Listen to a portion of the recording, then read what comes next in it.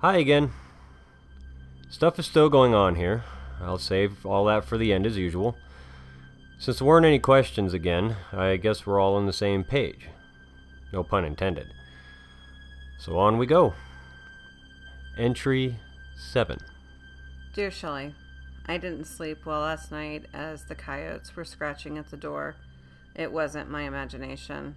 Along with the dead rabbits, I'll get to that in a minute. There are these gouges on the front door. My mom and dad aren't talking to each other again, but they both said they were sorry for forgetting dinner last night. I asked them about Nat and Kendra sleeping over. I was sure that they were going to say no, especially with what happened yesterday. I didn't take into account that they would jump at a chance to make it up to me. I still can't believe they just ignored me like that.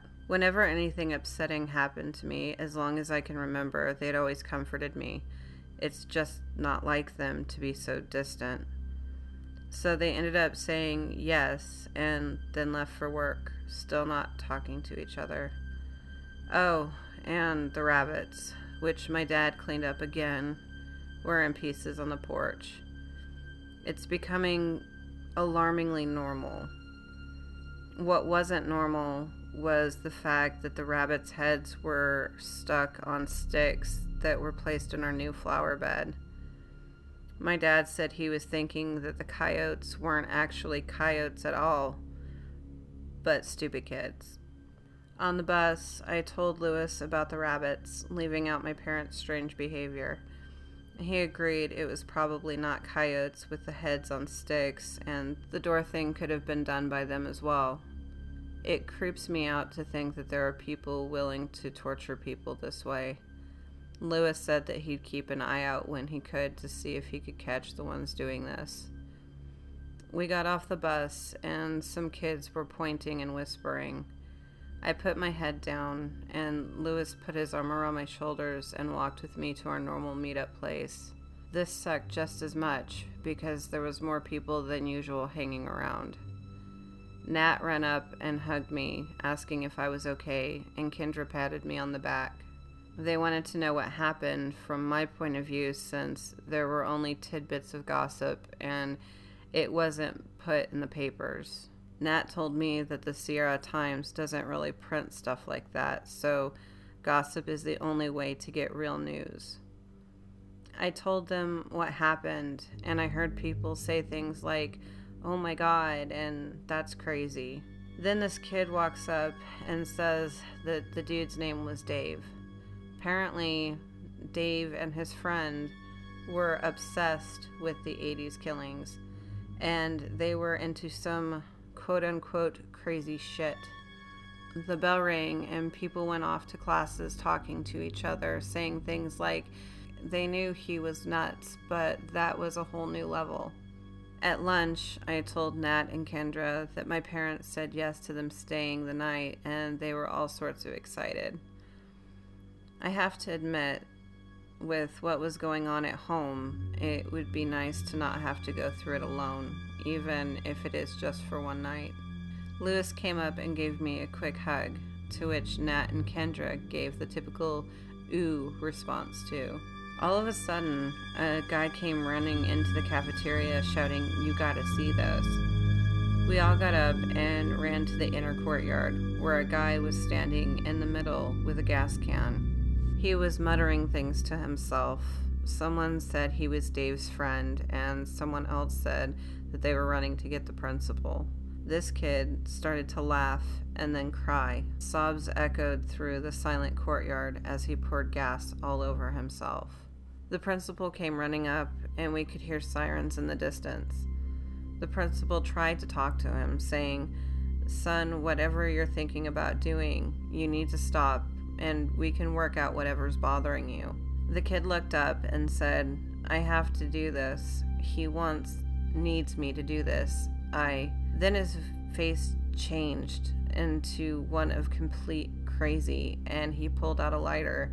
People backed away, and then the principal tackled him. The police and paramedics arrived, and the principal told us to all go back to lunch. As we walked away, I could swear he was staring right at me. On the bus ride home, Lewis tried to brighten my mood by saying, now that these two were locked up, maybe all the animal butchering would stop. We got off the bus, and Lewis walked me to the fence.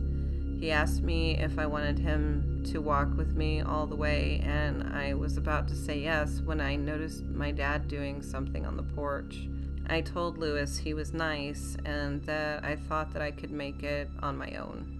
My dad was using a dining room chair to help him put up a motion light, and I noticed a camera on the other side of the door.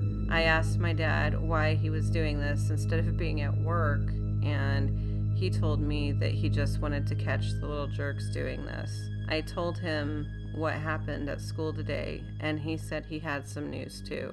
Dave underwent surgery and they repaired his tongue the best that they could. According to small town gossip, Dave woke up, strapped to his bed, and chewed his tongue clean off this time. Unfortunately, he choked on his own blood and died before they could stop him. My dad's boss told him that it was strange since the doctor said that he was right out of surgery and it was near to impossible for him to be awake so quick. I told him the same thing that Lewis had told me that maybe these two were to blame and maybe now it wouldn't happen anymore. My dad just smiled the way he did when I was little and had said something cute. Then he said, Well, this is just an added deterrent then. A little while ago, as we were sitting down to frozen dinners, I asked where mom was, and all my dad said was that she was working late. I guess on the bright side, I have my room back. The downside is that I hear the sound of something outside. Melissa. what was that? I don't know. It's the other two journals. That's it. Jimmy, I'm done. I'm done. I'm done. Whoa, what do you mean you're done? We still have two. No, no more Jimmy. It's weird what's going on. Why don't you see that? Like, why? Don't you just they just fell off the table, Steph. That can happen. Okay, okay, yeah, but what about those new entries, huh? What we just we just watched one appear, like poof. Well, yeah, but maybe if it is Melissa, she just wants her story told. Well, tell it yourself, Jim, because ever since you found those stupid journals, I've been waking up at 2 a.m. and now I'm hearing scratching noises on my bedroom door. I can't keep this up, Jim. I, I have work. Oh, come on, Steph. Maybe someone out there will help us with this. I'm not holding my breath. Hear that, Melissa? I'm done. So stop your crap. Jim, you need to burn those diaries. Okay, well, that was my girlfriend, Stephanie. Uh, she was helping me out by reading to you. I figured it would be best that a female read another female's thoughts. A lot of stuff has been going on with both of us. Maybe I should burn the diaries. I don't know. Maybe I can talk Stephanie into coming back. In the meantime, um, books are still moving around, obviously. And now I seem to get lights that turn off and on. Uh, the new writing Stephanie mentioned was I Watch You Sleep. That's the one that bothered Steph today. So tell me, what do you guys think?